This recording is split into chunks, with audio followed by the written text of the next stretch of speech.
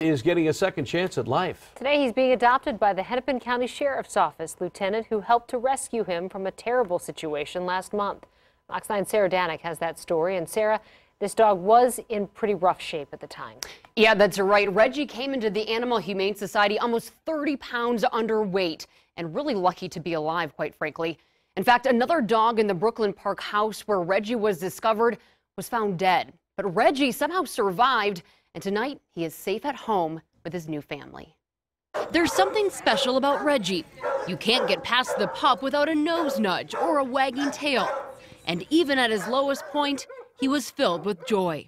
After going through what he did, he was still super happy and super friendly and excited to be around people. It was really amazing. Reggie arrived at the Animal Humane Society early last month, barely alive. Um, he had almost no muscle left. He was basically a walking skeleton. This is a picture of what he looked like then. Reggie was discovered in brutal conditions at a Brooklyn Park home.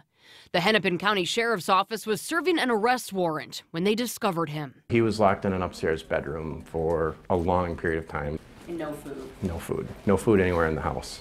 Lieutenant Shane Magnuson was at that scene. He tells us there was another dog in the home that was found dead, and Reggie was close to the same fate. He was, he looks skinny now. He was much, much skinnier. But Lieutenant Magnuson says he saw something special in Reggie that day. He just came and was going around all officers in the house, getting petted, tail was wagging.